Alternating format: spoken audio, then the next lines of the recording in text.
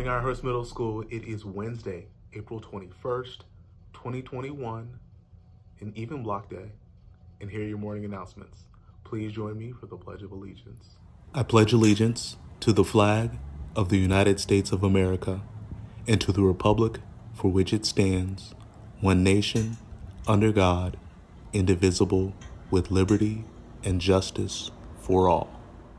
Eighth graders, your family should have received an email Monday night from a company called Envision. They are the ones that will be doing our virtual promotion ceremony. And in that email, there are directions on what you need to do and submit in order to be acknowledged during our virtual promotion ceremony. Now, I know there's some questions about virtual promotion versus in-person promotion. Here's the clarity. Everyone will be recognized in our virtual promotion ceremony. So that is why it's important that you submit all the things that they're asking for prior to the date, due date, which is May the 12th. Our in-person ceremony will be on a volunteer basis. So if you choose to do the in-person ceremony, then awesome. We cannot wait to have you.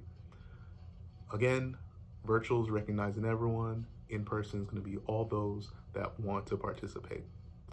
More information is coming, so please stand by. I know that you are coming up with your theme in core class, and we're excited to see what you come up with. A little bit more guidance on our lunch procedures. Sixth graders are going to head directly out to the blacktop and eat lunch and get squared away. Seventh and eighth graders, you're going to start in the courtyard and then at about 11:15 we'll make an announcement, blow the whistle, and all those seventh and eighth graders that want to participate in activities on the blacktop or in the soccer field, you'll be able to go do that. Basketball for the seventh and eighth graders will be on the left side courts and soccer for the seventh and eighth graders will be on the right side of the soccer fields. So you got the opportunity to get out, get out there, move around a little bit. So please enjoy. And then once Miss Jackson blows the whistle and you turn all of your equipment in after you wiped it down, we'll hold at the gate. And then once the bell rings to end lunch, everyone will be able to go head straight to their classes. All right, hope that provides a little bit more clarity on our lunchtime procedures. And oh, by the way, seventh and eighth graders, make sure that you're not taking any food or trash out to the blacktop. Clean up after yourselves. Let's keep our campus nice and clean. Thank you. Good morning, Iron Horse. GSA is here to inform you about Day of Silence. Day of Silence is a worldwide protest against LGBTQ plus harassment and inequality, which is put on every April. Our colors to show spirit are purple and black. This year's Day of Silence will be on April 23rd. The main way to participate in this protest is to be silent during school hours and to dress in our spirit colors. Everyone is completely allowed to change the hours they are silent based on their schedule or situation. You can pick up Day of Silence stickers on Tuesday, April 20th at the front of the school, along with the library pickup from 3 to 4 p.m.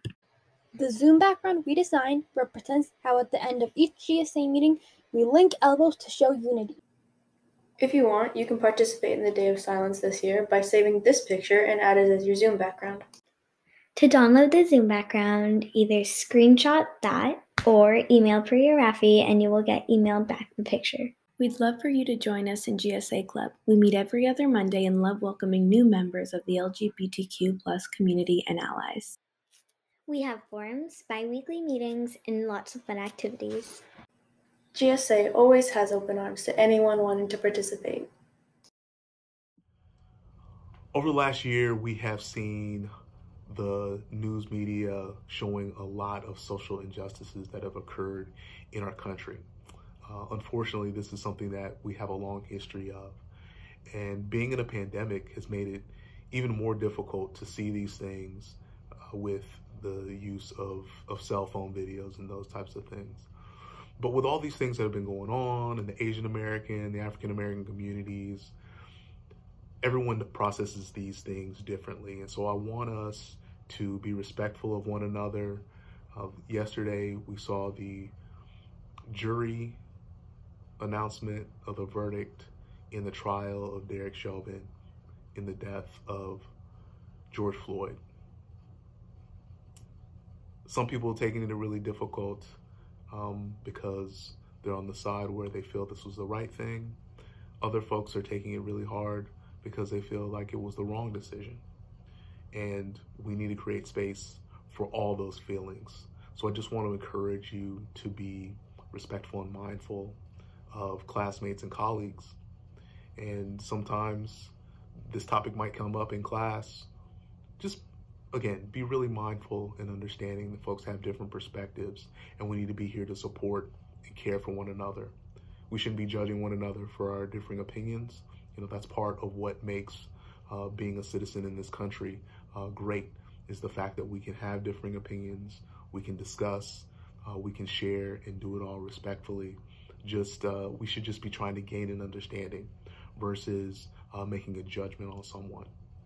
So keep in mind our school-wide focus this year, liberty and justice for all.